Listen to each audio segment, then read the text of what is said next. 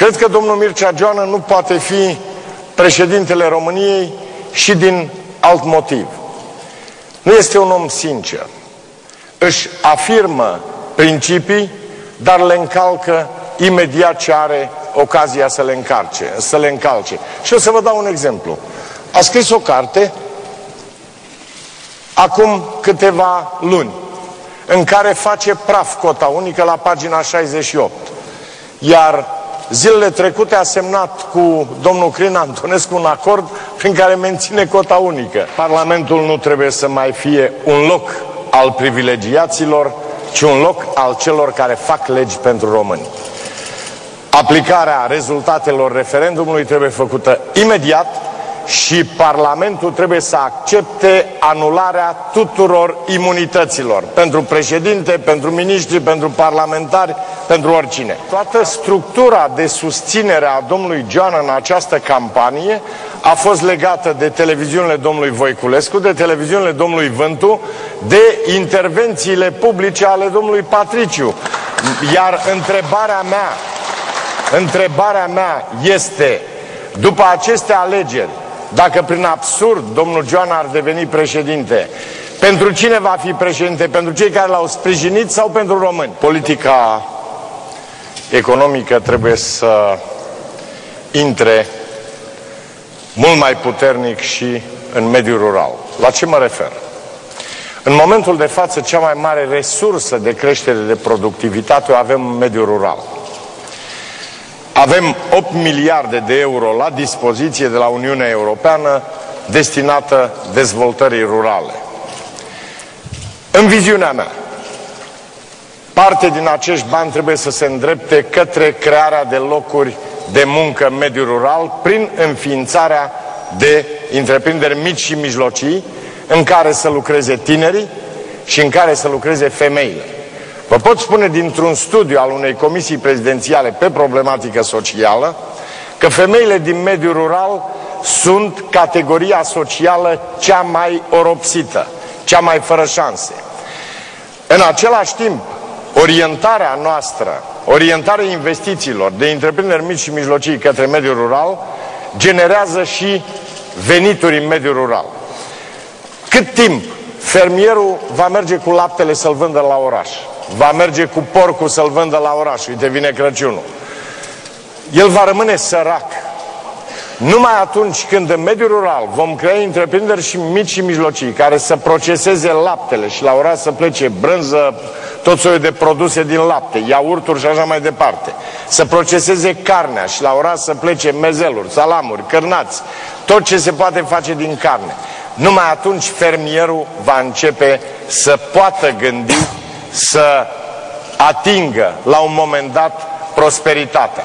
Mai trebuie făcut pentru mediul rural dezvoltarea unei rețele de depozite regionale pentru ca fermierii să-și poată duce în aceste depozite pepeni, roșii, ardei, castraveți, tot ceea ce noi vedem pe marginea drumului în momentul de față. Încerc să vă rog. Este singura formă ca aceste produse să ajungă în magazine și să facem ca cei din mediul rural să și câștige bani. Vă, vă spun eu, domnul Joana, mai ambițios ca dumneavoastră, ce vor, ce vor românii de la Constituția lor.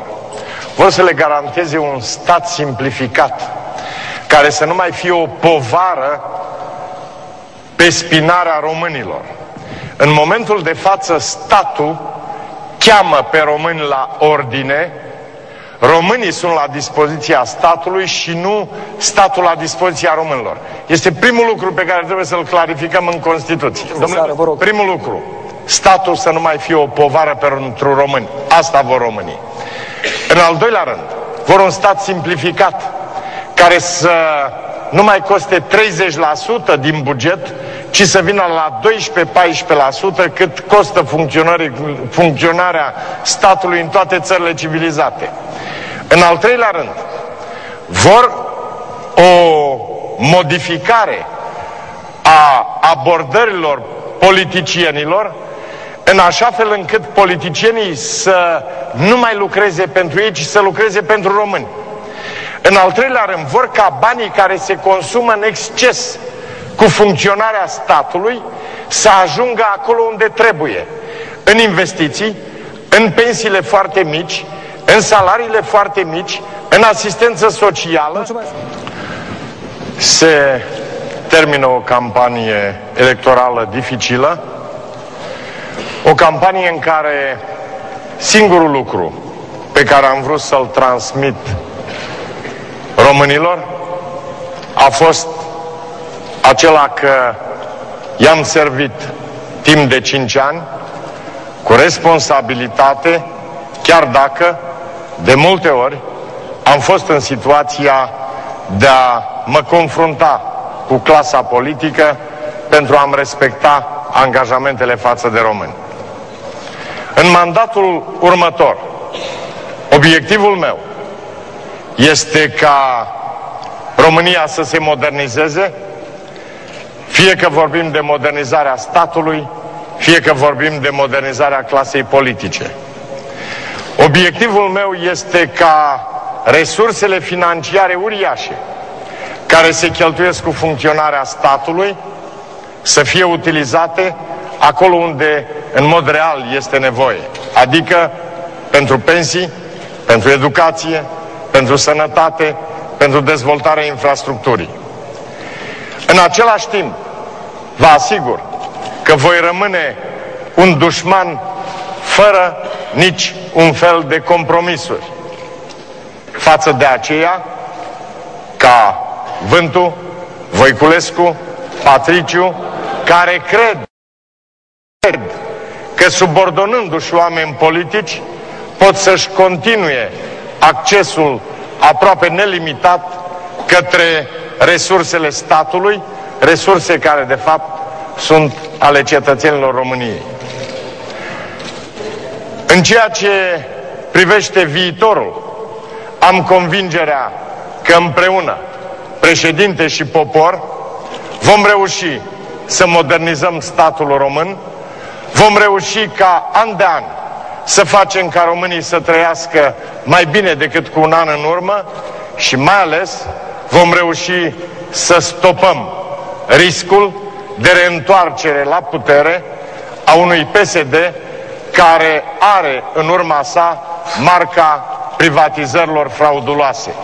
Ce s-a întâmplat până în 2004 cu Petrom, cu Alroslatina, cu multe alte companii, nu trebuie să se mai întâmple în continuare. În cei cinci ani ai mandatului meu n-a existat nicio privatizare frauduloasă.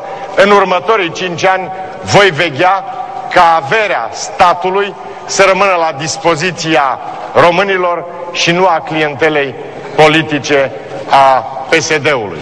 Este un obiectiv pentru care le garantez românilor că îmi voi depune toată energia. Vă mulțumesc!